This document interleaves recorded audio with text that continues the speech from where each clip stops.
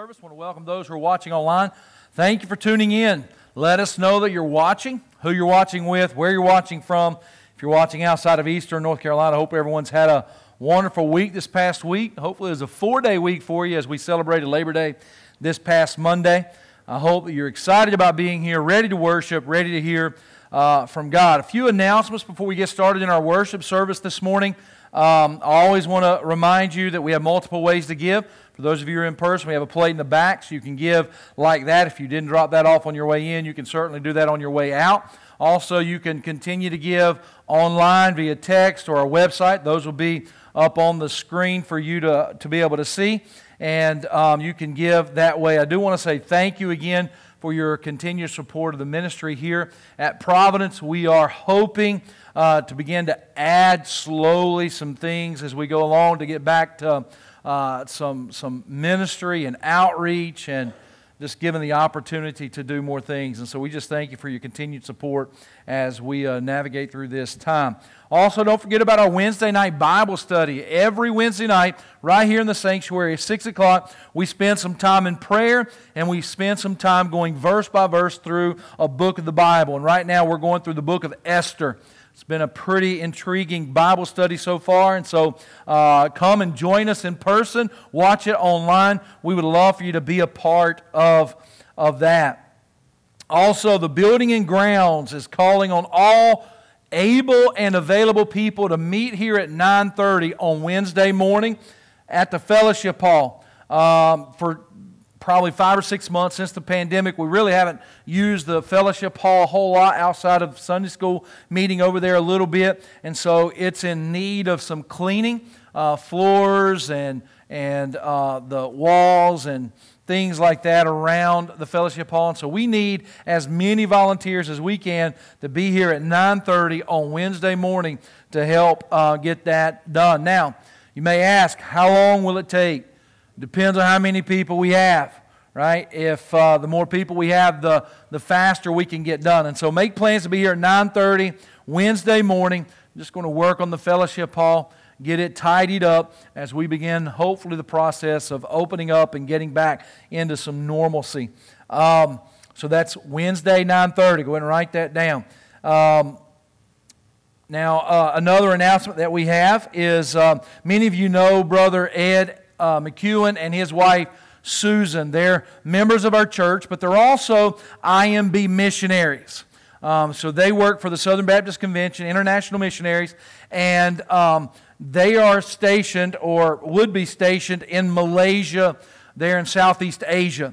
Well, they're here stateside because of the pandemic, and they can't get back in to Malaysia, at least not in the foreseeable future. And so, what this has done um, is this has kind of put a strain on them. Uh, now, what I want to see us do is take up a love offering for them next week. So, you have a week to prepare, you have a week to pray. So, next week, we're going to take up a love offering. Um, I'll have envelopes and stuff for you to put in there.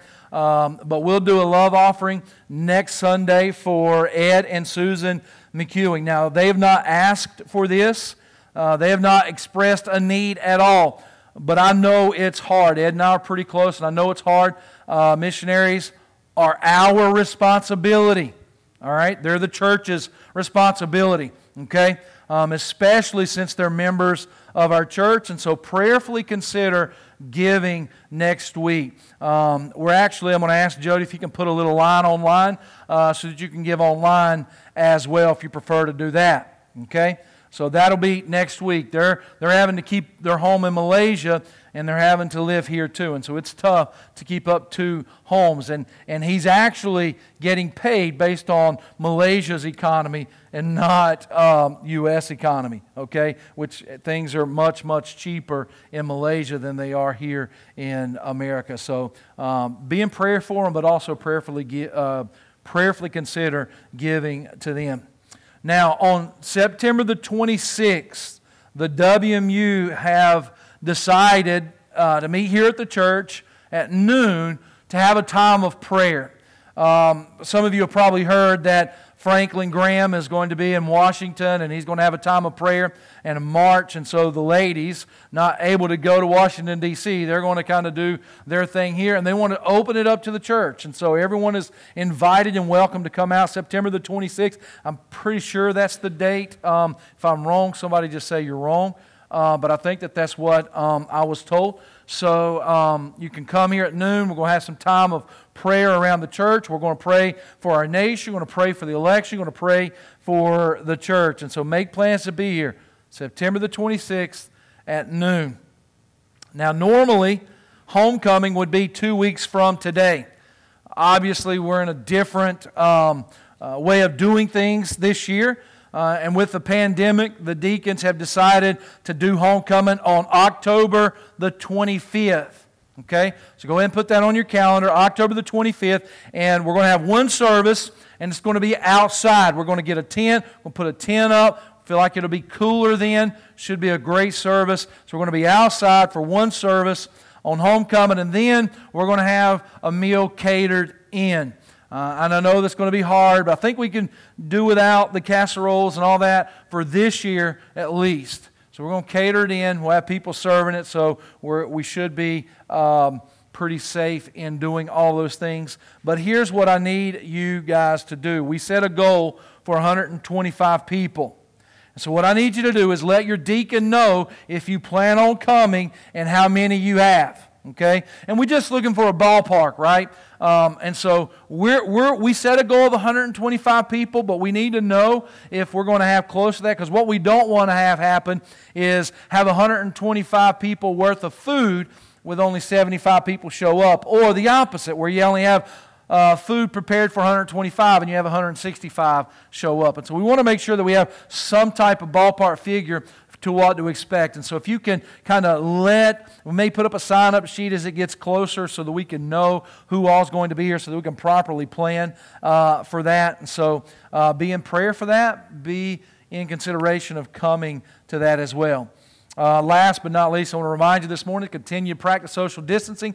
The guidelines set in place here at the church and by the CDC um, no hugging, no handshaking limit passing as much as you can, stagger when you sing.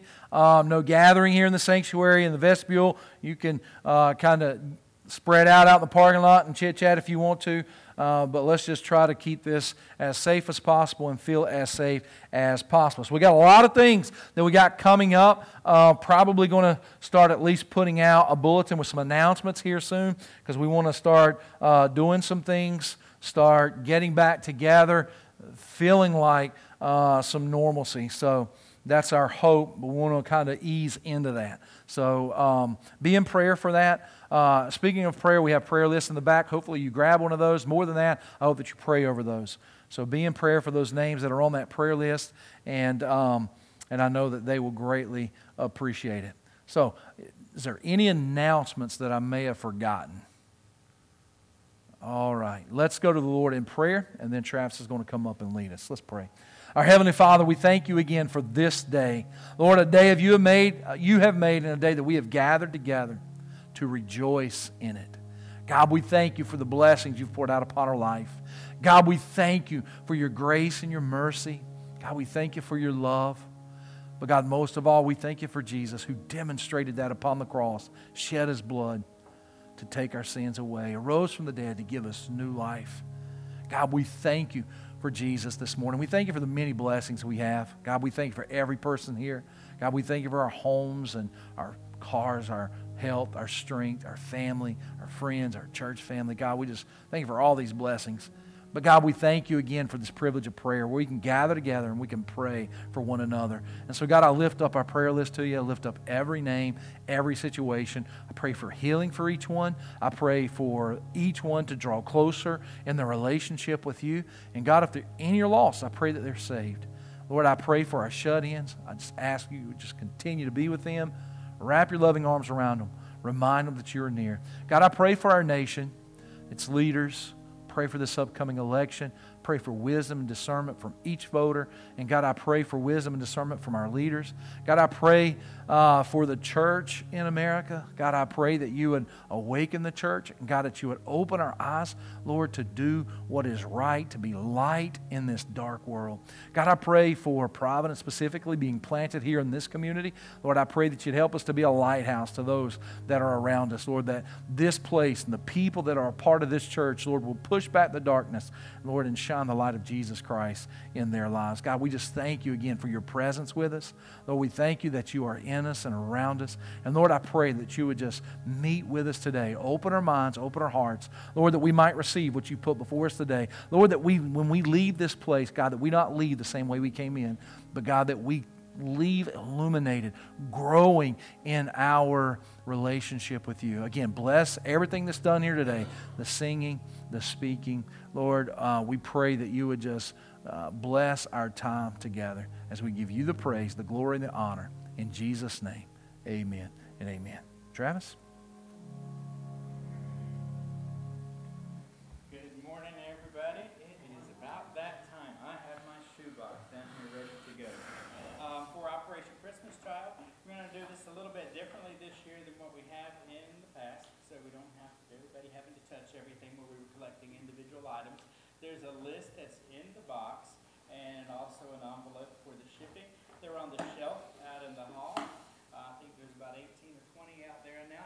See that shelf empty uh, after, at least by the uh, 11 o'clock service. If you'd like to help this year and are able to pick up a box, you fill the whole box as much as you can here, and everything then is due back on November 8th um, for delivery over to the River Baptist Center. They'll go on the big truck and then head towards Charlotte that following week um, for the big packing weekend with Samaritan's Purse and Thanksgiving weekend.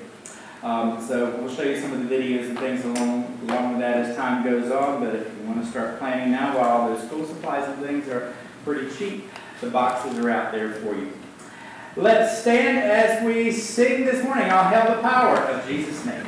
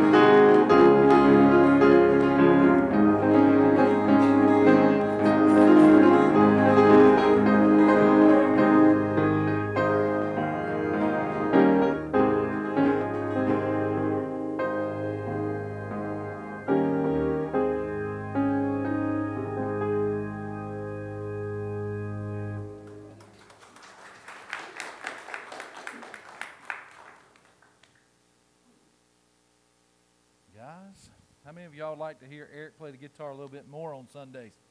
Yeah. thank you guys, Miss Benita, Miss Linda, Eric. Thank you. What a beautiful, beautiful song. All right, if you have your Bibles, go ahead and grab those. Turn with me to the book of Exodus. The book of Exodus, chapter 25. Exodus chapter 25, we're going to look at verses 31 through verse 40. And I want to speak from these verses on the subject of the golden lampstand. Exodus chapter 25, verses 31 through verse 40. The golden lampstand. We are in week four of our series titled The Dwelling. A look at the Old Testament tabernacle. Now, in week one, we looked at the coverings that made up the tent of the tabernacle, which was a, a vertical perspective to approaching God. We went through each cover, explaining what each cover meant. And then a couple of weeks ago, we started or we began this horizontal approach or the horizontal perspective to approaching God. Because here's the thing man cannot just approach God any old way he desires. Because God is holy, man is sinful. We are sinful. And because of our sin, there is a chasm, there is a separation, there is a divide between God and man. We must go through the process designed by God to meet with God. There's nothing we can do in and of ourselves. And so I've said this each week. The tabernacle was designed by God for the people of God to meet with God. So it is designed by God for the people of God to meet with God. This is His design. And so, this approaching of God by the priests at the brazen altar at the entrance of the tabernacle, um, there was a sacrifice made, there was blood shed, a life was taken, and that was to satisfy the justice of God. Remember, I said, think about the brazen altar as satisfaction. And then before the priest could enter into the tent, the holy place, or the Holy of Holies, there was a wash basin. This wash basin was constructed out of bronze mirrors, and they would wash their hands and they'd wash their feet before they went into the holy place. Now, both of these pieces are outside of the tent. They're in the tabernacle, they're in the courtyard of the tabernacle, but they're outside of the tent. And each of these pieces represents or points to Jesus. And they have a practical application for us today. Uh, for example, the altar or the killing place, right? It represents Jesus as the Lamb of God who takes away the sins of the world. On the cross, which was a killing place, both uh, Jesus both fully satisfied uh, the justice of God, the wrath of God, and displayed God's love and amazing grace for man. And so that's the altar. It represents the cross. Now, with the wash basin, um, this represents Jesus as truth, as the Word. We are to wash ourselves with the Word of God. And just as the wash basin was constructed from mirrors, we should soberly and honestly view our life through the, through the lens of the Word of God. And then we ought to confess our sins to Him. Now, in our study this morning, we'll finally be inside the tent, inside the holy place. Now, inside the tent of meeting, there are three pieces of furniture. On the south, you have the gold lampstand. On the north, you have the table of showbread.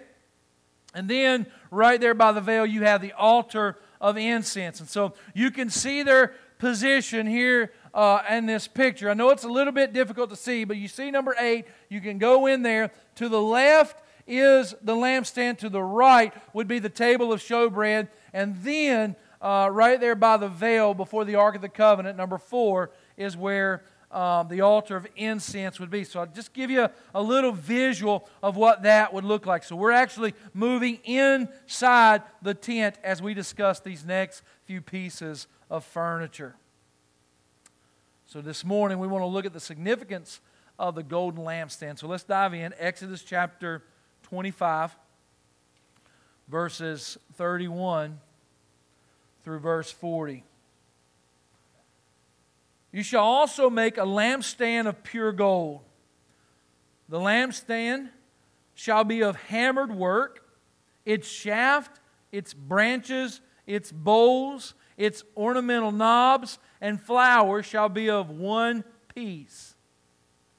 And six branches shall come out of its sides, three branches of the lampstand out of one side, and three branches of the lampstand out of the other side. Three bowls shall be made like almond blossoms on one branch, with an ornamental knob and a flower, and three bowls made like almond blossoms on the other branch, which an ornamental knob and a flower, uh, with an ornamental, ornamental knob and a flower, and so for the six branches that come out of the lampstand. On the lampstand itself, four bowls shall be made like almond blossoms, each with its ornamental knob and flower. And there shall be a knob under the first two branches of the same, a knob under the second two branches of the same, and a knob under the third two branches of the same, according to the six branches that extend from the lampstand. Their knobs and their branches shall be of one piece. All of it shall be one hammered piece of pure gold. You shall make seven lamps for it, and they shall arrange its lamps so that they give light in front of it. And its wick trimmers and their trays shall be of pure gold. It shall be made of, made of a talent of pure gold with all these utensils. And see to it that you make them according to the pattern which was shown you on the mountain. Let us pray. Our Heavenly Father, we thank you again for your word. And Lord, even as we turn back to before Jesus in the Old Testament, God, we see that it still points to Jesus. It still gives us instruction today. It is still relevant for us. And so, God, I pray, Lord, that as we study your word this morning, that you would um, speak to us, guide us, open our minds and our hearts, illuminate us, Lord, that we might have an understanding more of you. And God, that we might be awakened, and Lord, that we might serve you greater uh, even now as you reveal your truth to us. And so, God, we thank you for being here. And Lord, we just give you the praise for all that you're going to do. I ask you use my list for, my, for your service. Hide me behind the cross. Be exalted. In Jesus' name, amen and amen. Now, I have a lot of respect for people who lived without electricity. Um, and I'm not talking about a storm come through, knocked the power off, and you kind of uh, camped out for about four or five days. I'm talking about people who truly grew up without electricity. Do we have anybody who lived an extended period of time without electricity, maybe growing up? Not very many people in here. All right, a couple right here from the mountains of North Carolina, right? Or at least Van is, right? I have a lot of respect. I'm sure that most of you had parents, grandparents to some extent, who had to live a period of time without electricity. Now, this would have been extremely tough if your bathroom was outside as well. Now, I know that most people probably kept a pot and all that kind of stuff, maybe a, maybe a candle, but I'm going to tell you right now, I would not survive very long in that environment without electricity, without light. It's not that I'm, you know, I need all these modern luxuries. It's just, it's not that I'm spoiled or anything. Um, it's just that, listen, when I'm asleep and, and I have to wake up to do anything that involves walking in the dark, it's dangerous for me and it's dangerous for anything around me. Let me, let me just tell you how dangerous it is. Sonia and I, when we first got married, right after we got married, we, we had a mobile home. We lived there for about the first 10 years of our marriage. And the way our mobile home was set up is the master bedroom was on one end of the mobile home, and the other bedrooms were on the other end of the mobile home. Okay? And so when our kids, they were all born there, and when we, you know, as we were raising them, at least the first 10 years of our marriage, so they would sleep on one end, we would sleep on, on the other end. So if one of the kids um, in the mid- middle of the night would wake up, we'd have to go from one end to the other. It's not like it was that far or anything like that. It wasn't really a big deal for Sonia. Sonia had these natural instincts where she could just go and do it. uh, and she did most of the time, but she did need sleep on occasion. And so uh, one night in particular, in the middle of the night, one of the kids began to cry. And I can't remember which kid it was. And so, me, wanting to be the absolute best husband I could possibly be, decided to get up and go tend to the kid. Now, before you think that I'm some kind of super dad, super husband, you need to know that that didn't happen that often. Sonia got up almost all the time with our kids. I never, I never got up, and this may be the reason why this moment right here. But anyway, I decided to get up and go to the kids, and, and I made it to the kid, get them settled down, and I'm on my way back. And there in the living room, I fall flat on my face. There's a coffee table in the middle of the living room that I hit, come straight down on, face planted, broke the big candle that was on it. Every whatnot and doodad that was on that thing was broke, slung in the floor. I picked myself back up and I went to bed. I didn't even clean the mess up. I went back. I didn't just stump my knee, I went all the way down. All right, so I go back to bed and we get up the, the next day, and uh, Sonia kind of looks and she's like, How? How in the world did this even happen? And of course, all I could tell her was um, I didn't have my glasses on. Um, it, was, it was dark. Uh, I mean, the coffee, it's not like the coffee table was just moved there. That thing had been there forever, as long as I can remember. I made it around it the first time, but didn't make it back. And so it was dark, and I didn't have my glasses on, but I should have been familiar with that. You see, here's the thing no matter how familiar you are with your surroundings, no matter how good you can see, when there is no light, you will stumble in the dark. You will stumble in the dark. Now, you want to talk about dark, right? If you were to remove the lampstand from inside the tent of meeting, the tent of the tabernacle, it was to be pitch dark. Now remember, there was four layers of coverings here that made inside this tent absolutely dark. There was no outside light, not even a crease or anything of light was able to come inside that tent. And so the only light was from that lampstand. Now, the priest, he would work inside that tent. And he had duties that he had to do every single day inside that holy place. He had to tend to the lamp, he had to tend to the table of showbread and the altar of incense. So he had to do all that, but he had to have light. So one of the duties of the, the priest was to keep the lampstand burning continually. It could not go out because this was the only source of light for the priest to minister, for him to do his duties. Now, just knowing that little bit about the lampstand, we can go in a number of directions, right? I mean, John writes in, in chapter 1 verse 5 john 1 verse 5 he says the light shines in the middle of the dark in the the light shines in the darkness and the darkness did not comprehend it and then he goes on to write in verse 9 Jesus was the true light which gives light to every man coming into the world. And then in John chapter 8, verse 12, Jesus says, I am the light of the world. And so obviously the light in the tabernacle points to Jesus. This has probably been the easiest one to actually figure out as far as how it points to Jesus. So it's pretty clear the light, the lampstand, points to Jesus. But when you combine that light with the work that the priest does in the tabernacle and how we are the priests now, right? We are the keepers of the light now. Remember what Jesus said in Matthew chapter 5 verse 16. Let your light so shine before all men that they may see your good works and glorify your Father in heaven. So now we're light keepers. And it's our job to let our light so shine before all men that they may see our good works and glorify your Father in heaven. So we could certainly see, uh, we could certainly camp out here for a little while and see all the intricacies of the light and darkness and all those kind of things. But, but I don't want to camp out there. I want to look at the symbolism behind its construction. That's what we want to do this morning. We want to look at the symbolism behind its construction, how that points to Jesus. And so, the first thing we notice about the lampstand is that it's made of pure gold. It's made of pure gold.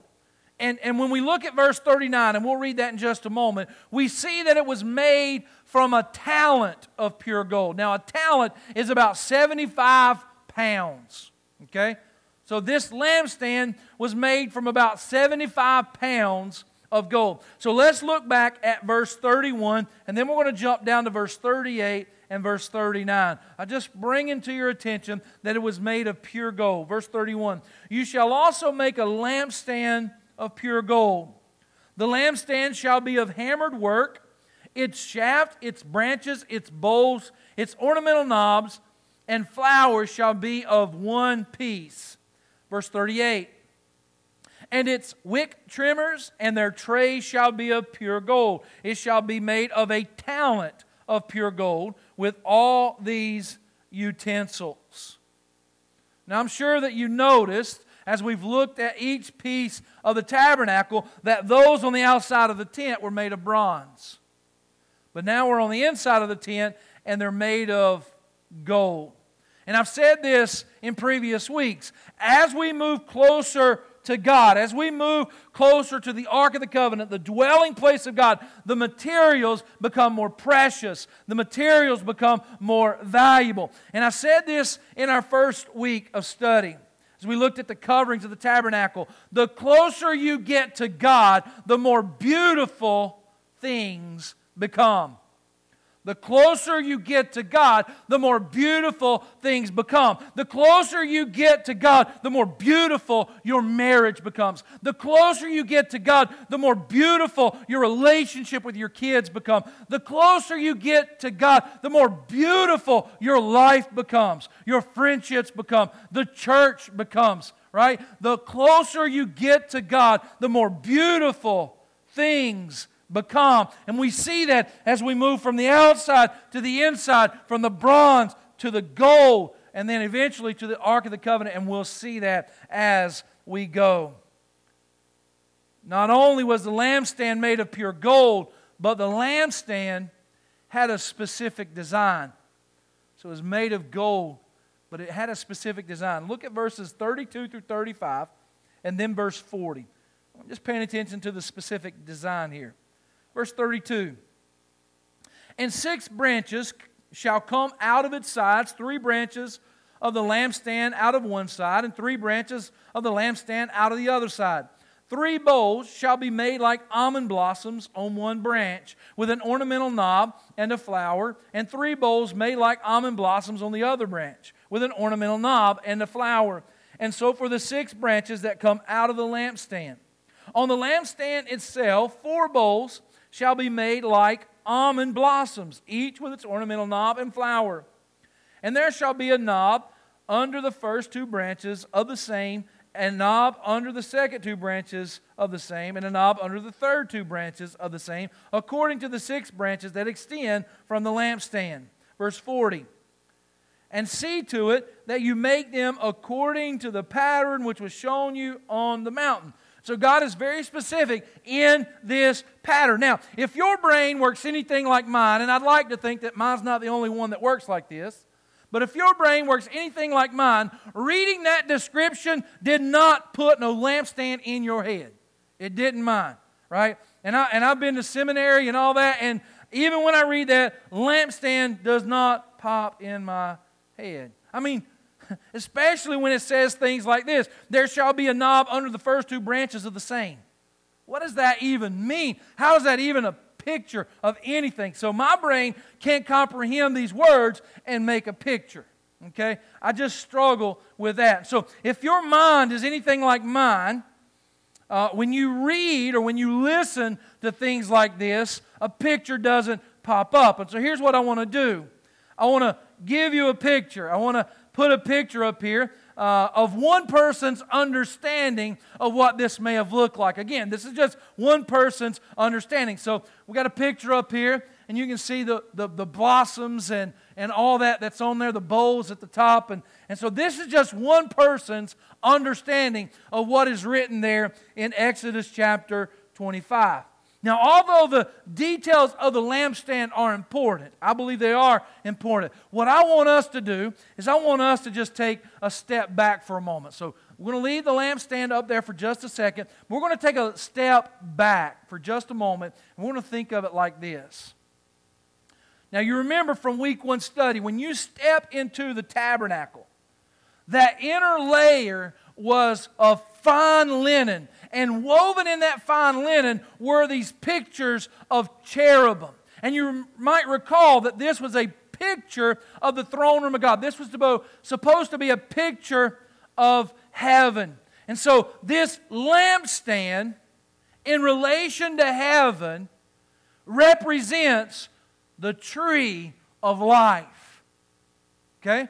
That's what I want to do. I want you to step back and I want you to see that. So, this lampstand in relation to heaven, right, the, which is what the tabernacle inside the holy place is supposed to render. It's supposed to be a picture of the throne room of God, of heaven. So, the lampstand in relation to heaven represents the tree of life. Remember, that's the tree that Adam and Eve were banned from eating from. He put cherubim to even guard it. Remember that from, from Genesis? But notice the language God uses here. He uses words, you know, he talks about a trunk, he talks about three branches, he talks about blossoms, he talks about flowers, he talks about an almond, uh, blossoms, almond tree, if you will. I'm not saying that the tree of life is an almond tree at all. But I'm saying that because it's an almond tree, I think that we can uh, assume that this represents the tree of life. Because here's the thing the reason God chose to use the almond tree as an example for the lampstand um, is, is because the almond tree was the first tree to bloom in Israel's area. And so, whenever the Israelites or the people living in that area would see blossoms coming on an almond tree, they knew that spring was coming. They knew that new life was coming. I, I like to think of it in, in terms of our region of a dogwood tree right? A dogwood tree, when they begin to bloom, you know that spring, that Easter is almost here. And especially when you take the bud of, or the, the flower of the dogwood and it's got the little red marks, it kind of looks like the cross and the crucifixion, right? And so we look at that and we see new life. Well, that's kind of the way it was for the Israelites with the almond tree. When they saw the almond tree beginning to bloom, they knew spring was right around the corner. They knew that that meant new life. Now, when we break down the, um, the lampstand, the Bible says it had uh, six branches. Now, the number six, of course, represents man, it represents incompletion.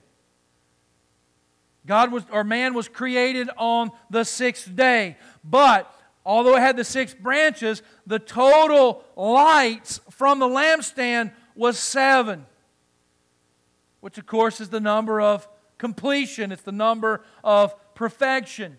Now, what does this represent? This represents the humanity of Christ and the deity of Christ. Now, I want you to listen to me. I'm going to give you some theology that will help you with, to, to avoid heresy, right? Um, Christ was both fully human and fully God, all right? The lampstand speaks to both. Jesus is fully human and as fully God. Any religion and any religious person that takes away the deity of Christ or takes away the humanity of Christ, it is heresy and it's false religion. And it's happening in religions all across the world. Listen, you have religions that say, yes, Jesus was a great teacher. Yes, Jesus was a prophet. Yes, Jesus was a good man. And they'll make all these great claims about how good Jesus is, but all they're saying is he's a good human. They're not saying that he is fully God. And if you don't say he's fully God, then you've missed it. And it's false and it's not truth and it's not biblical.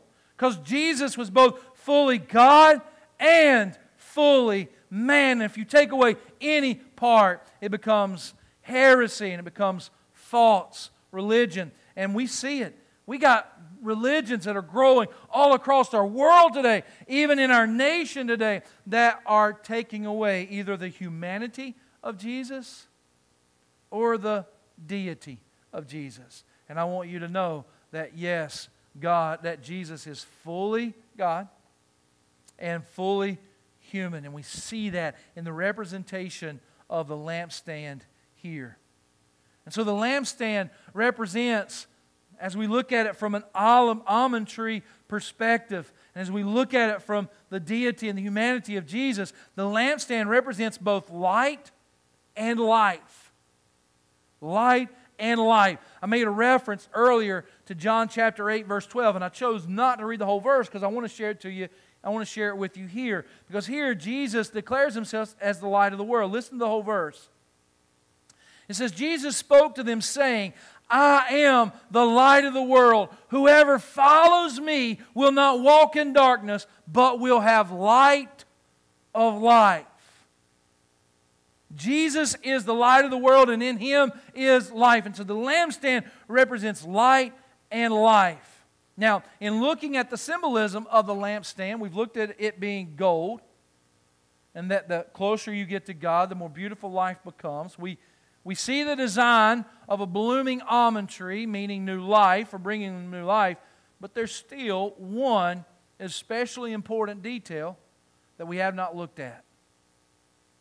See, without this one detail, without this one thing, this lampstand would simply be a 75 pound gold paperweight.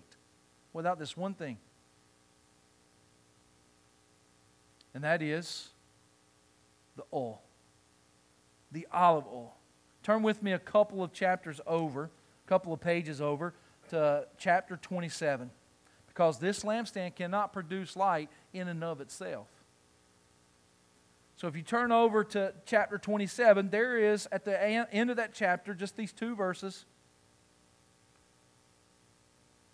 that have to do with the lampstand. Listen to what it says. It says, And you shall command the children of Israel that they bring you pure oil of pressed olives for the light, to cause the lamp to burn continually. In the tabernacle of meeting, outside the veil, which is before the testimony, Aaron and his sons shall tend it from evening until morning before the Lord. It shall be a statute forever to their generations on behalf of the children of Israel. The lampstand will never burn without the olive oil. The olive oil represents the Holy Spirit. Just like with the other furnishings so far, this doesn't just speak about Jesus, and, and, and, but it also points to Jesus and, and salvation and our life in Christ. Let me just kind of give a quick recap as we look at each one of these and as we look at the lampstand. The brazen altar, where the blood was shed, represents the satisfaction of God's justice for sin.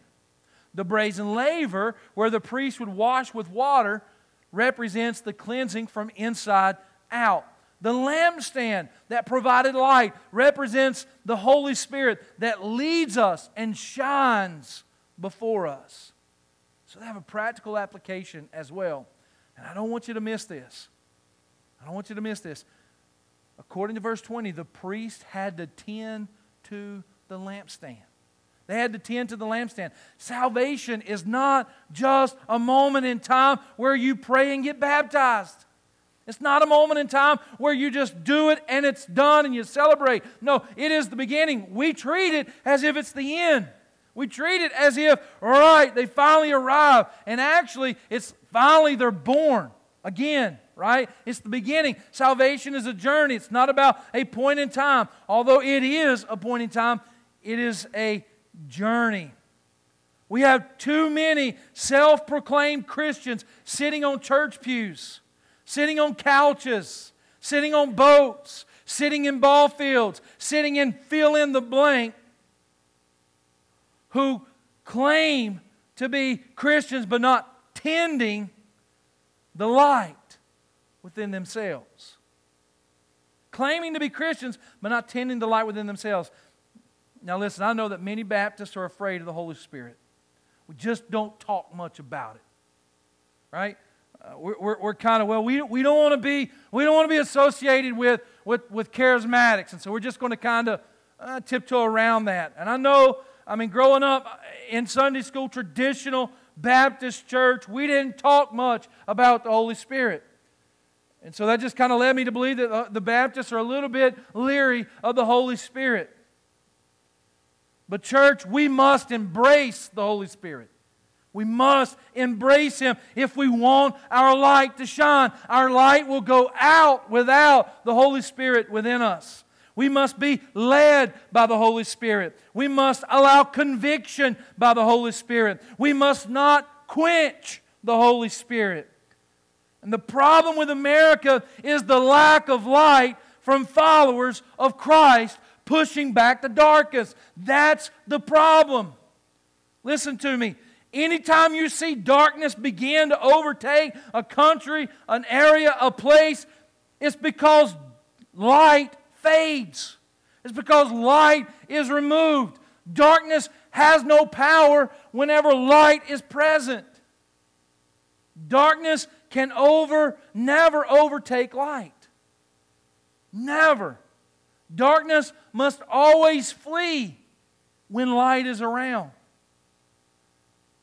That's why you'll hear me say, you know what? The problem is not necessarily the world. The world has always been the world. The world will always be the world. It's always been dark. But we have the light and we've got to push back that darkness.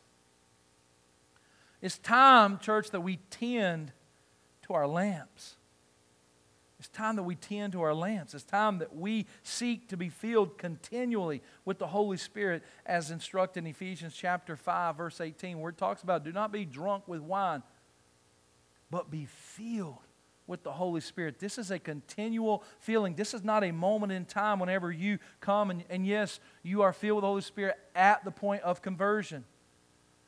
But there ought to be a constant feeling when we look at when we look at the um, uh, the priests working here with the lampstand, they didn't just light it one time and it just kept shining. No, they had to go and they had to tend to it.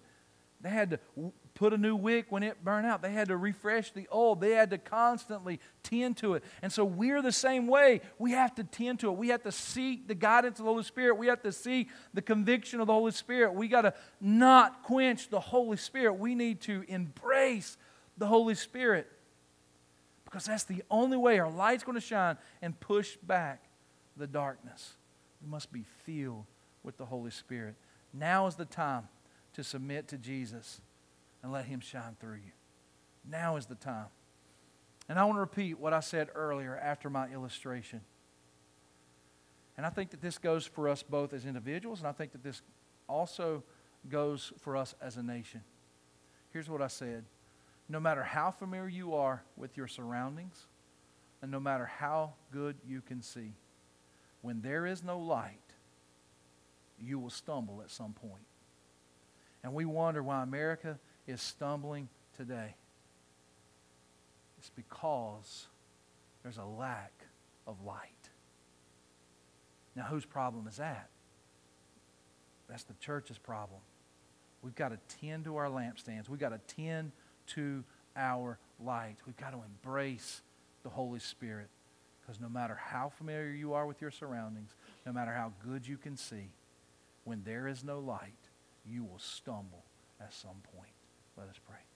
Father, we thank you, God, that you desire to give us light.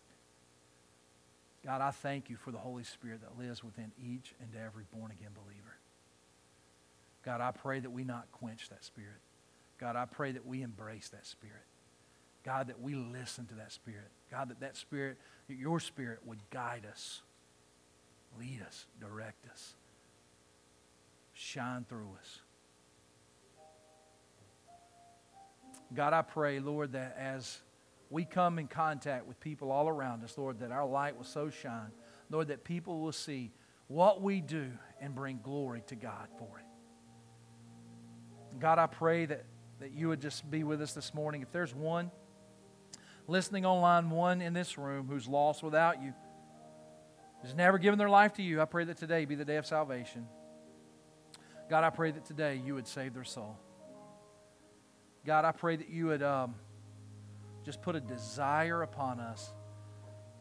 Convict us, if you will, that we might tend to our lampstands, that we might let the light so shine. Remind us, oh God, that we are the light keepers. As we give you the praise in Jesus' name, amen. Let's stand. Every head bowed, every eye closed. Christians praying. Do you feel like not only is darkness all around you, but even in that darkness, you, you, you don't see very much hope? Then turn to Jesus. That's what this time is about. Jesus is our hope. He is our light in the darkness. Jesus can save you today. And I know, turn on the news, the world seems dark, and it is. It's a lot of evil. But what are, what are you doing to push back that darkness? Maybe you're here today and you're saved, but you haven't been tending your lamp. You haven't been seeking guidance from the Holy Spirit, or comfort from the Holy Spirit, or conviction from the Holy Spirit. Then I ask you, turn to Him today. Seek His presence in your life. Be filled with the Spirit today.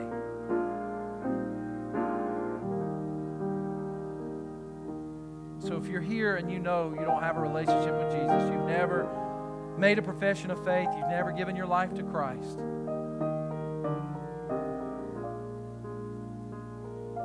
then won't you just simply, you know what, Pastor? I need to be saved. Just raise your hand. You don't have to come forward or anything like that. Just raise your hand. Maybe you're watching online and you know you need a relationship with Jesus. Just simply put in the comments, I need Jesus. So I'm going to be in touch with you for sure.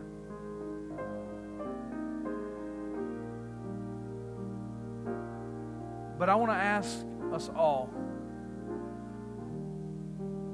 would you agree with me in prayer this morning? Seeking God to help us be light bearers, push back the nation or push back the darkness that is in our nation, push back the darkness that is in our surroundings. Would you agree with me in prayer over that this morning? You know, we pray so often that our church would be a lighthouse.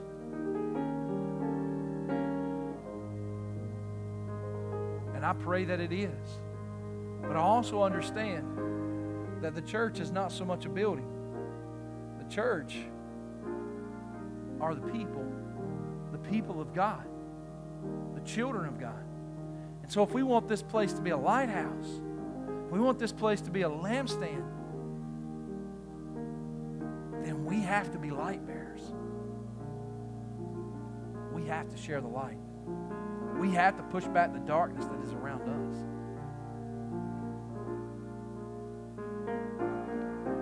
So, just in a few moments that we have remaining, let's, um, in silent prayer, let's just agree together in prayer, seeking God to help us be light bearers, to push back the darkness that is in our nation.